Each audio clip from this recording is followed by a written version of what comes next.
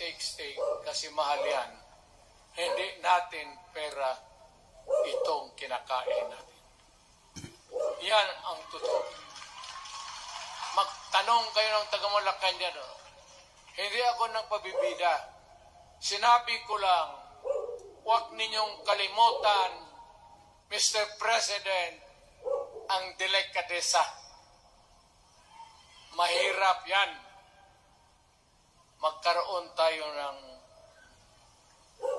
Ngayon, mula naman, yun naman lang ang dapat lang pagpintuhan natin. Huwag kayong pumayag dyan. Binabastos kayo. Anong bakit? Bakit nadalhin tayo sa parliament? Anak ka na. So pag doon kontrolado na nila, pati yung anak na assured na maging, yan nga ang mahirap eh.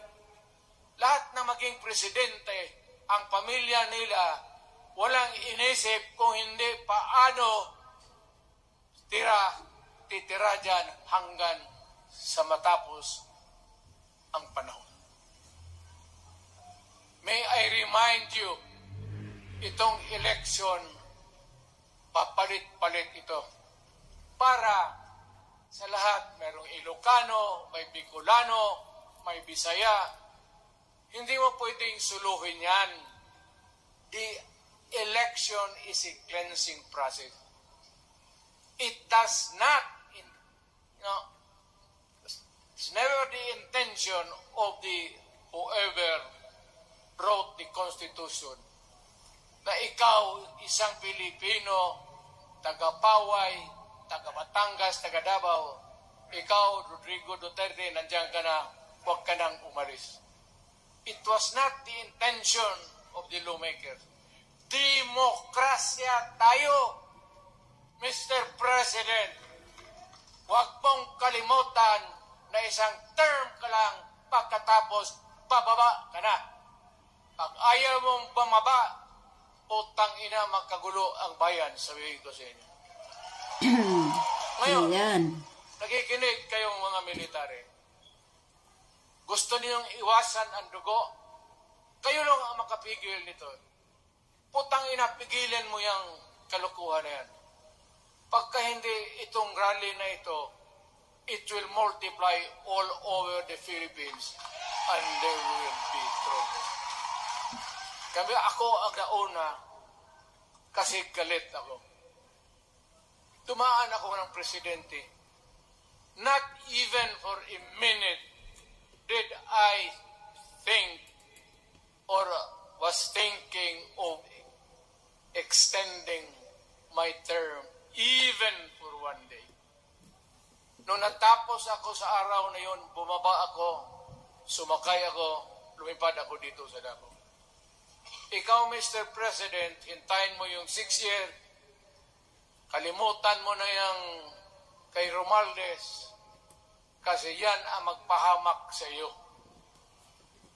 At maraming magagalit sa iyo, pati na ang militar.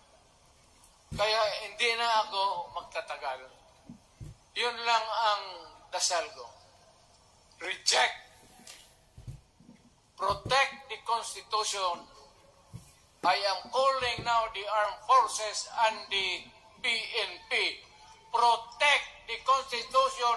Trabaho ninyo yan. Huwag ninyong kalimutan. Kami, inyong dapat, you should worry about the nation. The millions of Filipinos. Huwag kayong mag-isip lang ng isang pamilya. Putang ina. Ilagay ninyo sa utak ninyo yan. Mahala kayo. Balang araw, magsisihan. Pero kasi umuulan naman, hindi ulan. Eh. hindi, shower lang yan doon sa Malacanang ginagawa nila. Pasirin doon.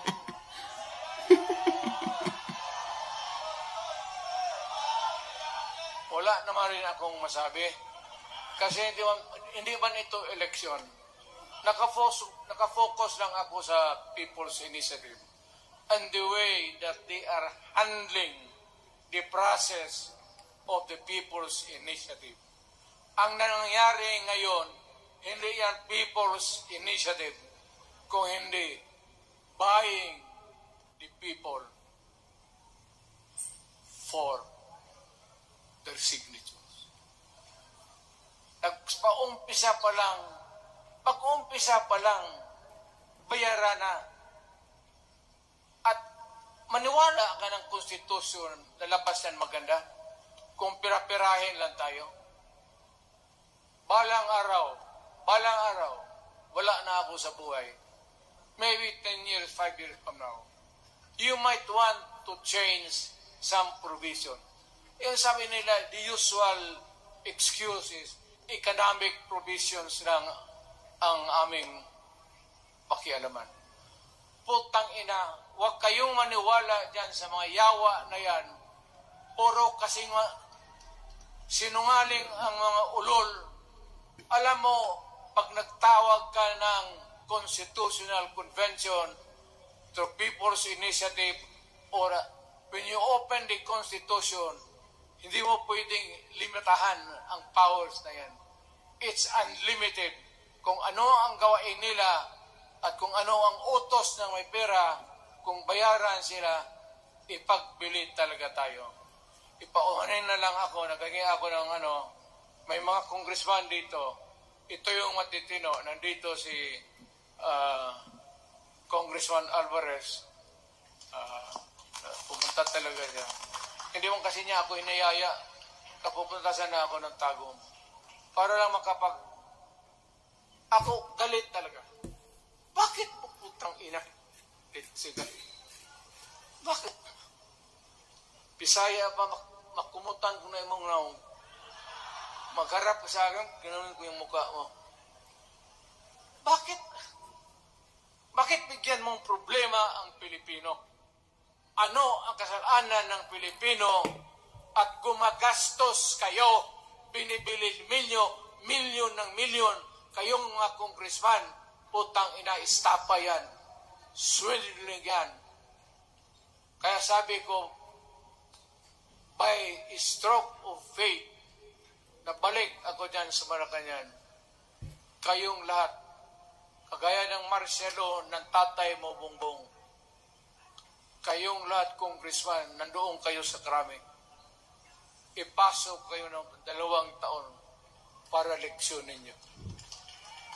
Hindi ka maleksyon ng ano, kalukuhan ninyo. Wala. Hindi pa nga naayos ang kati. Ano, ano, ano, ano bang, what's wrong with the, what's wrong with the Constitution? Tell me, kung hindi yung inyong ambisyon.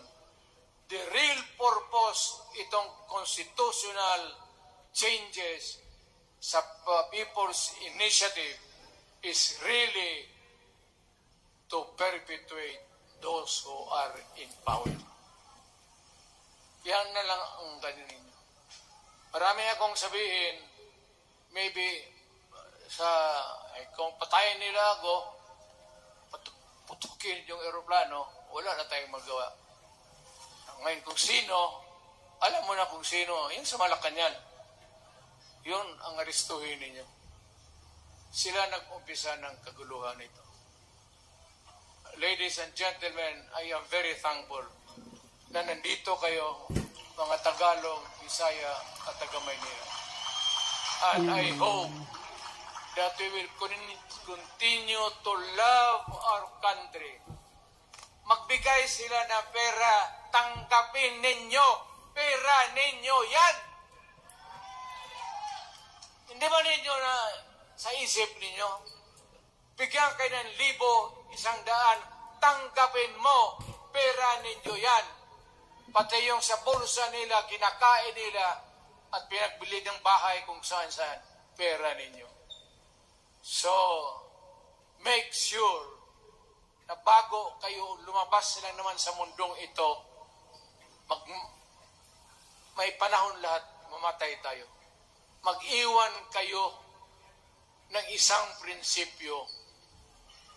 Sabi ninyo sa mga anak ninyo, tinangkap ko yung pera kasi pera natin ito, ibili natin pagkain. Pero yung prinsipyo natin, huwag natin ipagbili. Yan ang iiwan mo sa mundong ito para sa mga anak ninyo. At yan ang dadalhin mo sa langit. Pagka sinabi ni San Pedro, anong nagawa mo? May ginawa ako para sa bayan.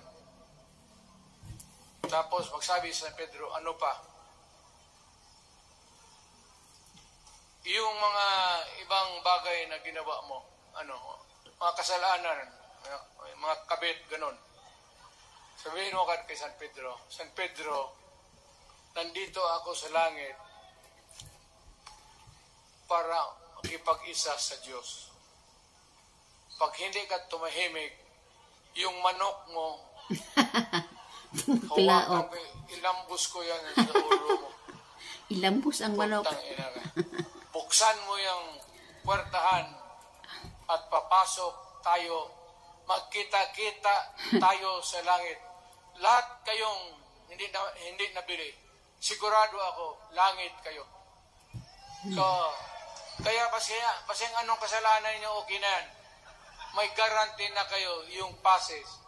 Mahalaga yan as a matter of principle prinsipyo sa tao. Maraming salamat po. Wow.